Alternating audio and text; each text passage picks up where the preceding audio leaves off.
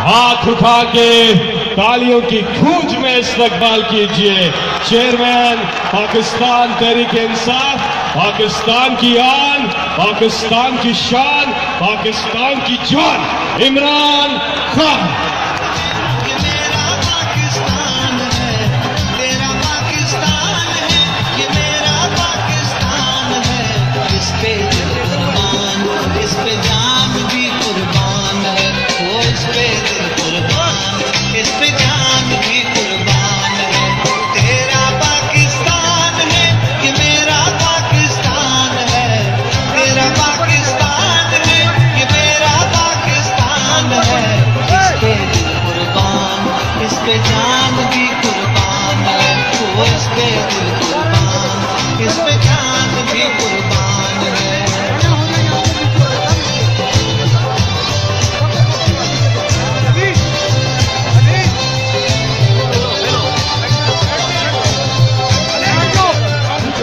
اللہ الرحمن الرحیم ایاک نعبد و ایاک نستعین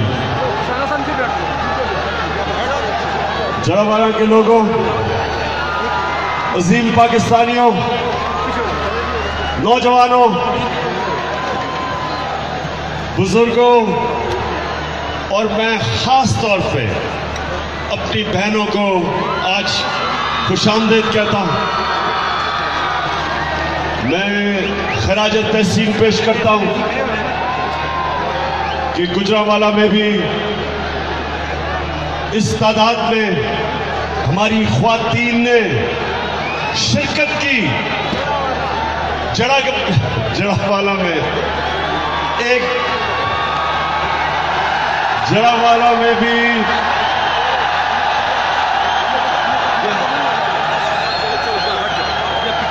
جڑا والا میں بھی ہماری خواتین نے نیا پاکستان بنانے کے لیے شرکت کی آپ کا شکریہ۔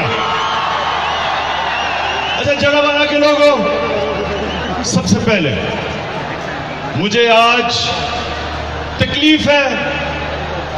مجھے تکلیف اس لیے کہ ایک بہت بڑا مسلمانوں پہ نہیں انسانوں کے اوپر ایک بہت بڑا ظلم ہوا۔ یہ ذرا اب آپ نے غور سے سننا ہے کہ فلسطینیوں کے اوپر، فلسطینیوں کے اوپر اسرائیل نے کتنا بڑا ظلم کیا، یہ ذرا سنیں۔ انیس سو اڑتالیس میں، انیس سو اڑتالیس میں جب اسرائیل بن رہا تھا تو آپ جانتے ہیں کہ اس کی سب سے زیادہ کس نے مخالفت کی تھی؟ اسرائیل بننے کی سب سے بڑی مخالفت قائد اعظم محمد علی جناح نے کی تھی۔ انہوں نے تب کہا تھا کہ یہ مسلمان نہیں، انسانوں کے اوپر ظلم ہو رہا ہے۔ کہ کسی کی کوئی لوگ بس رہے ہیں کسی زمین پہ اور وہ آپ نے کسی اور کو کسی اور قوم کو پکڑا دی۔ اس کی کوئی مثال ہی نہیں ہے۔ تو انیس سو اڑتالیس میں فلسطین میں صرف نو فیصد یہودی تھے۔ نو فیصد یہودی تھے اسرائیل میں۔ آج بیاسی فیصد جو پرانا فلسطین تھا، وہ اسرائیل نے قبضہ کر لیا۔ نو فیصد لوگ تھے اور آج بیاسی فیصد جو پرانا فلسطین تھا، اس کی زمین پہ اسرائیل بن چکا۔ لیکن یہ ظلم ابھی کافی نہیں، جو اٹھارہ فیصد بچا ہوا ہے، جس میں ویسٹ بینک ہے ادھر پانچ لاکھ اسرائیلیوں کو وہاں بسایا گیا ہے سیٹل کیا گیا ہے۔ سیٹلمنٹس بنائی گئی ہیں یعنی ان کی جو زمین بچ گئی تھی، اس میں بھی اسرائیلیوں کو بٹھا دیا۔ اس کی کوئی مثال، اس کی کوئی مثال تاریخ میں نہیں ملتی کہ کسی قوم کے اوپر اتنا ظلم کیا گیا ہو۔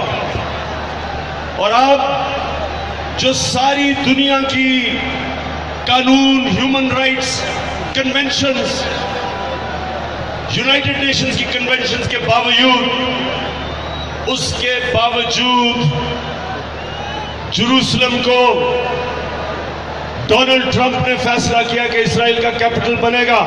کی سارے ملکوں کے اوپر آگ لگی ہوئی ہے مسلمان دنیا میں، کوئی پوچھنے والا نہیں ہے۔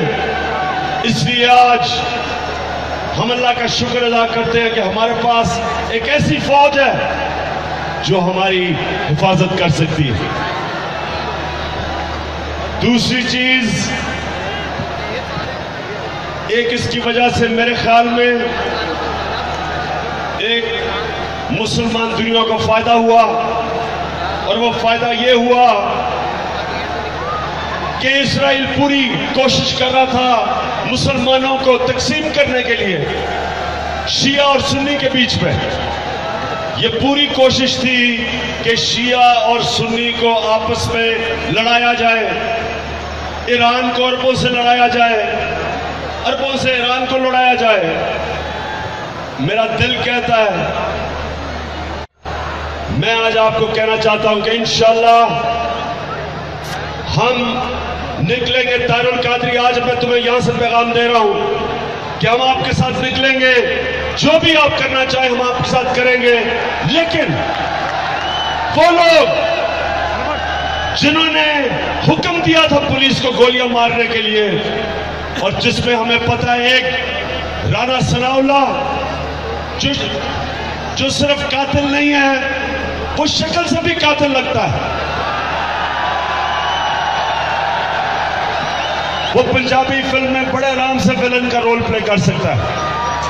اس نے عابد شیر علی کا باپ کہتا ہے، جو نون لیگ میں ہے کہتے ہیں رانا ثناء اللہ نے اٹھارہ قتل کیے۔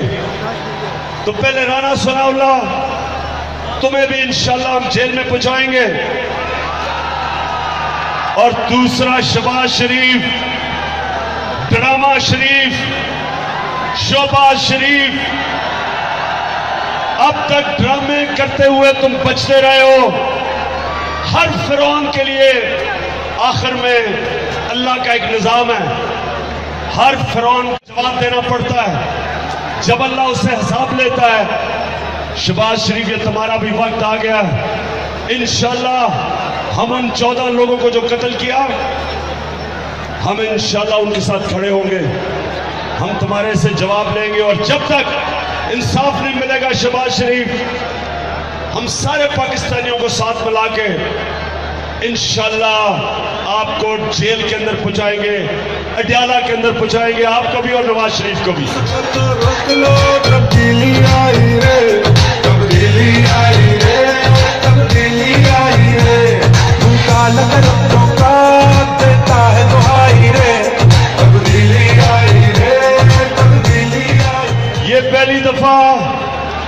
شباز شریف یہ پہلی دفعہ پولیس کے ذریعے آپ نے لوگوں کو قتل نہیں کروایا۔ آپ کے اوپر پہلے بھی کیس ہے کہ پولیس کے ذریعے آپ نے ایکسٹرا جوڈیشل کلنگ کروائی ہے۔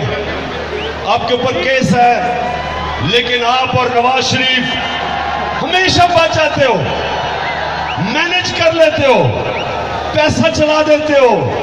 ماضی میں آپ نے ججز کے اوپر پیسہ چلایا۔ آپ نے سرکاری نوکروں کو خریدا، آپ نے سیاستدانوں کو خریدا اور آپ ہمیشہ بچتے رہے۔ اب آپ نہیں بچ سکتے، کیونکہ شباز شریف اور نواز شریف آپ کے سامنے وہ آدمی کھڑا ہے جس کی کوئی قیمت نہیں ہے۔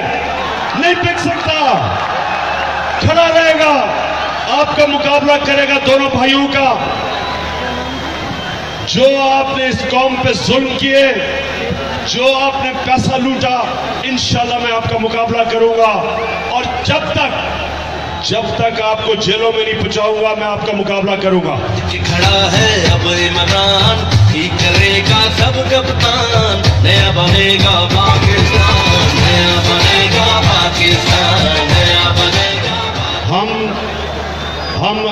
ڈاکٹر طاہر القادری آج آپ کو پیغام دے رہا ہوں۔ کل بھی میں نے آپ سے بات کی۔ جب بھی آپ تیار ہیں، تحریک انصاف آپ کے ساتھ نکلے گی اور جب تک انصاف نہیں ملے گا، انشاءاللہ آپ کے ساتھ کھڑے رہیں گے۔ تیسری چیز، نوجوانوں اور سامنے میری بہنوں، میرا کام ہے کہ آپ کو اپنے شعور پیدا کرو کیا وجہ ہے کہ یہ ملک ایک عظیم ملک نہیں بن سکا؟ آج سے پچاس سال پہلے پاکستان سارے بر صغیر میں سب سے آگے تھا۔ اس یہ ملک سارے بر صغیر میں سب سے خوشحال ملک سمجھا جاتا تھا۔ ہر طرح ہم آگے تھے۔ ہم پیچھے کیوں رہ گئے؟ یہ میں آج آپ کو بتانا چاہتا ہوں، ہم پیچھے کیوں رہ گئے؟ ہم پیچھے اس لیے رہ گئے، اس کی ایک سب سے بڑی وجہ کہ اس ملک میں کرپشن کی کینسر آ گئی۔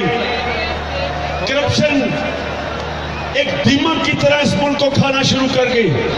جو پیسہ آپ پہ خرچ ہونا تھا، نوجوانوں آپ کی تعلیم پہ یونیورسٹیز پہ میری بہنوں، آپ کو پڑھانے کے لیے، آپ کے بچوں کو پڑھانے کے لیے، اعلیٰ تعلیم دینے کے لیے، ہائر ایجوکیشن کے لیے، ہسپتالوں کے لیے، صاف پانا، صاف پینے کا پانی کے لیے، نوجوانوں، آپ کو روزگار دلوانے کے لیے، وہ پیسہ، ایک چھوٹا سا ڈولا ایک چھوٹا سا ڈولا اوپر آیا، کرپشن کر کے اپنی جیبیں بھری پیسہ باہر لے گیا ملک سے تو جب نواز شریف کہتا ہے کہ نواز شریف ایک نظریے کا نام ہے وہ نظریہ ہے کرپشن وہ نظریہ یہ ہے کہ دھاندلی کرو الیکشن جیتو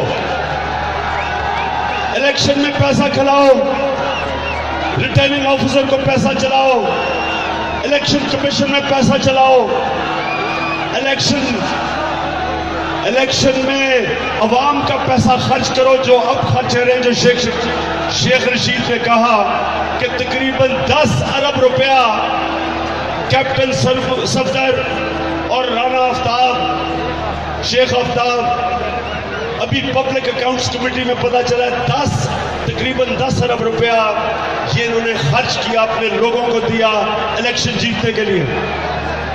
رشوت ہے یہ۔ کہیں دنیا میں یہ نہیں ہوتا۔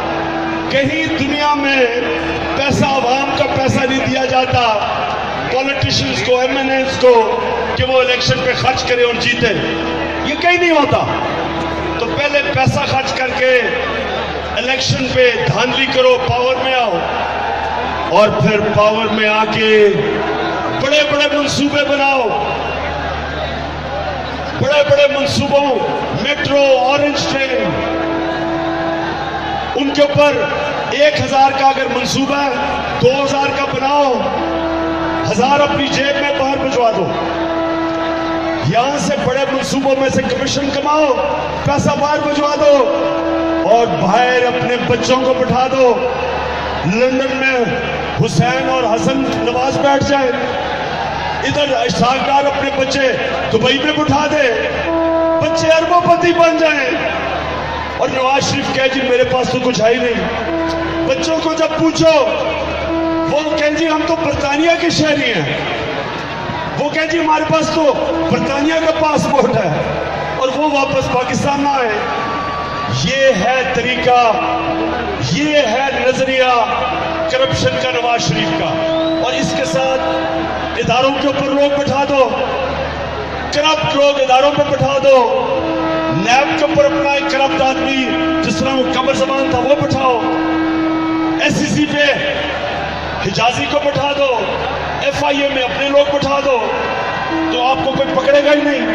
ادارے بھی تباہ کرو۔ پیسہ بھی بناؤ۔ ملک کو بھی تباہ کرو۔ جس کی وجہ سے آج ہمارا ملک پیچھے رہ گیا۔ تو ہم نے جناوالا کے لوگوں، قوم جاگ چکی ہے۔ قوم یہ سمجھ گئی ہے نواز شریف کا نظریہ کرپشن تیاری کر لو الیکشن چند مہینے میں۔ آپ کا کپتان آپ کے سامنے ہے اور یہ میچ انشاءاللہ ہم آپ پاکستان کو جیت کے دکھائیں گے۔ ہمیں، ہم نے جو ملک بنانا ہے جڑاوالا کے لوگوں میں اور میری بہنوں کہ ہم نے پختونخوا میں کیا کیا؟ سب سے بڑا مسئلہ یہ ہے کہ جو نچلا طبقہ ہے اس کو انصاف نہیں ملتا، ان کے پاس وکیل کرنے کے پیسے نہیں ہوتے، وہ کچہریوں میں ٹھوکریں کھاتے ہیں۔ آج پختونخوا کے اندر ہمارے وکیل بیٹھے ہوئے وکیل تو یہ سمجھتے ہیں سب کچھ جو میں کہہ رہا ہوں۔ بیچارے غریب آدمی سے کیا ہوتا ہے؟ پختونخوا میں ہم نے کیا کیا؟ ہم نے ڈسٹرکٹ تھانے کے اندر ڈی آر سی بنائی یعنی کہ ڈسپیوٹ ریزولوشن۔ وہاں وکیل ہوتے ہیں، وہاں ریٹائرڈ جج ہوتے ہیں۔ وہ اپنا رضاکارہ طور، رضاکار طور پہ آ کے بیٹھتے ہیں۔ سامنے دو پارٹیز جن کے کیس ہوتے ہیں، وہ آ کے بیٹھ جاتی ہیں۔ وہ کیس سنتے وہ فیصلہ کر دیتے کوئی خرچہ نہیں ہوتا، غریب آدمی کا۔ کوئی اس کو بھاگنا نہیں پڑتا، کبھی دھکے کھانا نہیں پڑتا۔ سترہ ہزار